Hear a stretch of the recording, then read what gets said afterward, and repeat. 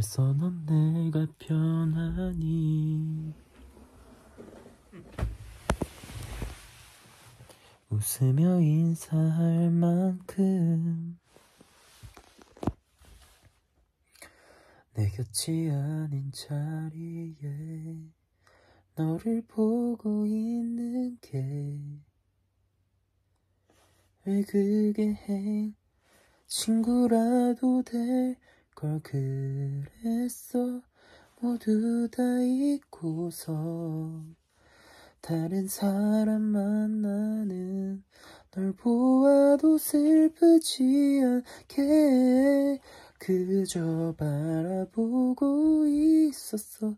한참 동안 네 옆에 그 사람까지도 가지려고 또 보려고 혹시 네가 다시 돌아올까봐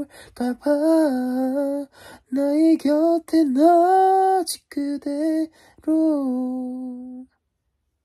비워져 있어 너의 자리라서